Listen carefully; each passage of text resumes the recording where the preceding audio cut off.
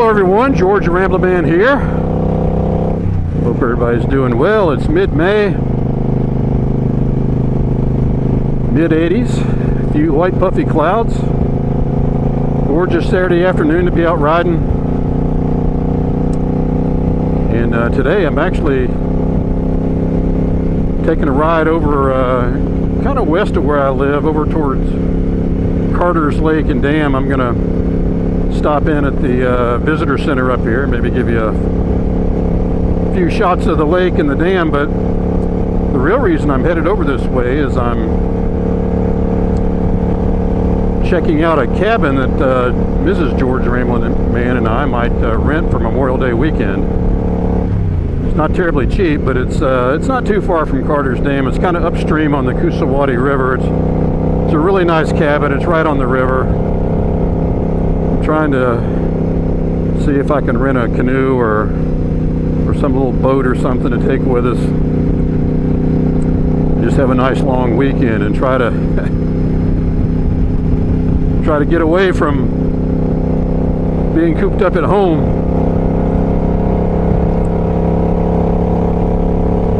I guess this coronavirus thing is going on two, two and a half months now, and uh, I'm getting pretty tired of it. But I, I tell you, here in Georgia, our governor's been pretty aggressive as far as opening things back up and he's actually started opening things up again for business in a gradual manner and now businesses are opening, restaurants are opening. I mean, there are guidelines, but pools are opening. Our neighborhood pool opened this weekend. And uh, life is uh, slowly getting back to normal. I, our business is obviously taking a hit during this time, but we picked up some contracts in fact, uh, next couple of weeks, I'm sending some of my guys out to uh, San Antonio, Texas to look at a job and up in up to Indianapolis and over to Charlotte. So we're starting to get out and travel again. And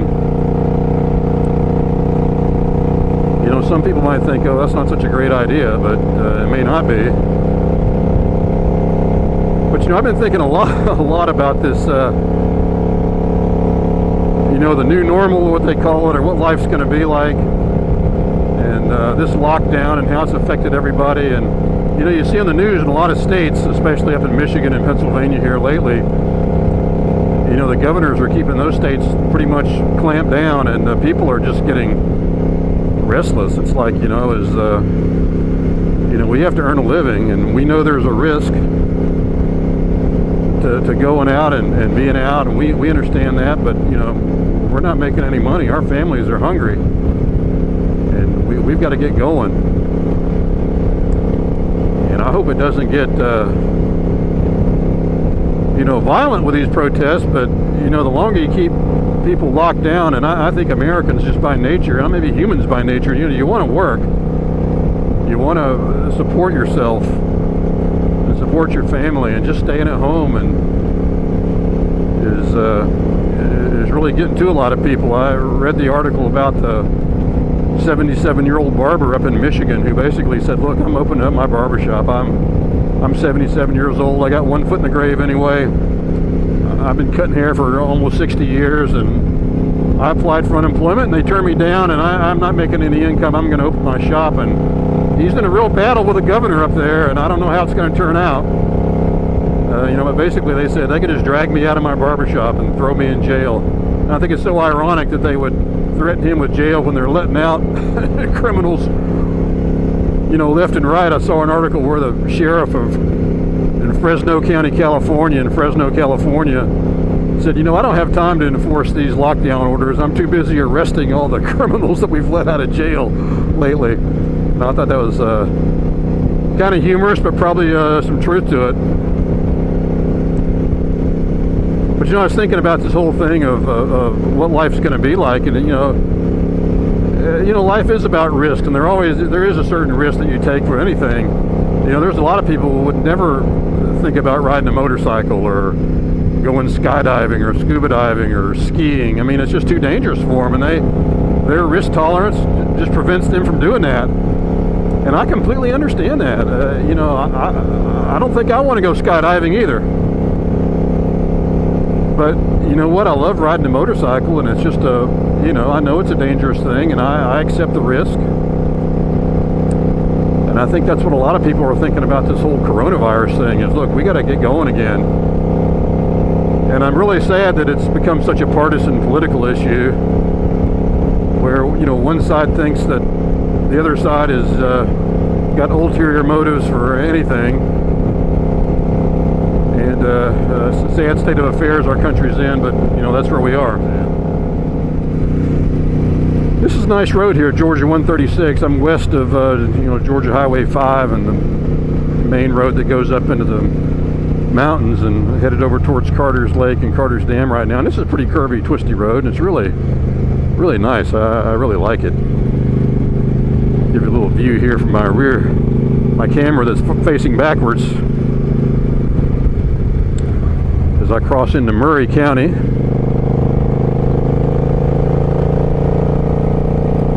Not too much traffic out today, but just a very nice very nice to be, day to be out. And uh, this cabin online looks really nice that uh, Mrs. George Ramblin Man and I are going to rent. I don't think I can get to it today because it's behind a gated a gate that you have to have a code for. But it is right on the uh, river. And if we do pull the trigger and do this over Memorial Day, I'll definitely take some videos and show it to you.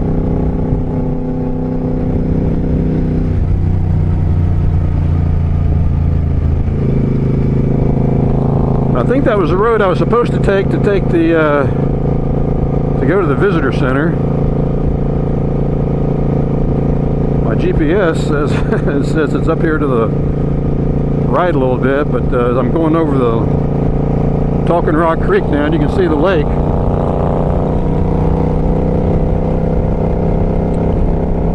Carter's Lake and Carter's Dam has been here since probably the mid 70s. They started building this dam in the early 60s.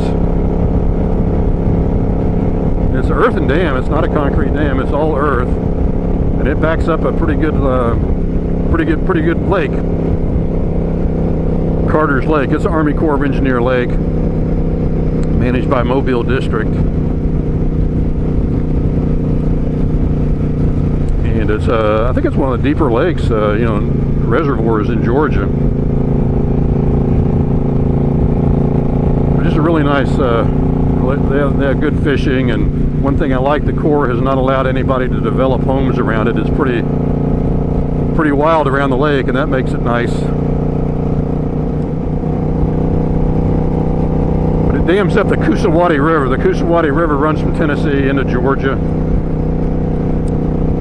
I'm not sure where it goes on from here. Here we go, Powerhouse Well, this is the dam. I don't think this is the Lake Visitor Center, but uh, maybe we'll get a little view of the dam here.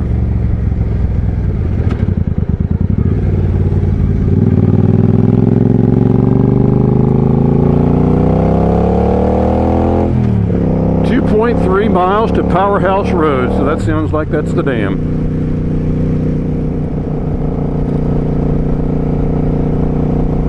Wow, what a beautiful view. The Blue Ridge Mountains, North Georgia.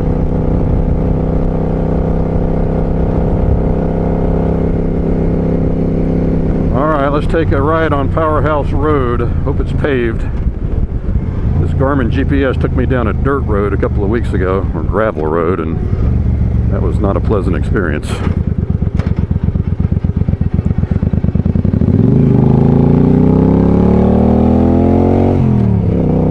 It does not appear to be the case here. Corps of Engineers, they generate some power at this dam it's uh, used, obviously it dams up a nice big lake for recreation, but you can see, I don't know if you can see it really, but they, I see all these power lines here headed to a substation, so they do generate power at this dam. And you can see it straight ahead. That is an earth dam. That is a huge, that, that's the largest earth dam east of the Mississippi River. And wow, that is a massive earthen dam. This is the powerhouse and it's all closed and I can't get here obviously but uh, I'm going to park my motorcycle here and see, give you a little bit of a view of this. This is, this is something else.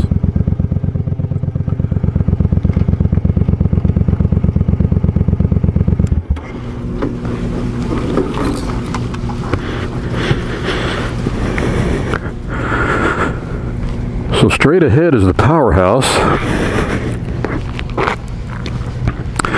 And you can see they had to blast a lot of rock to get this powerhouse put in there.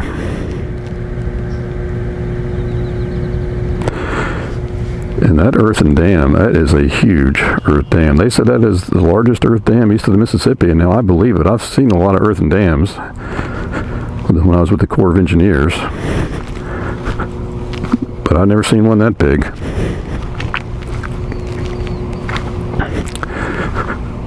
If there's a road you can get on up on the top of it, that would be an interesting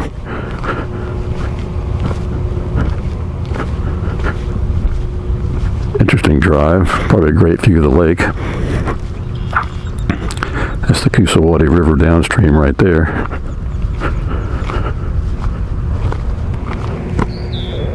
There it is, Carter's Dam, Murray County, Georgia,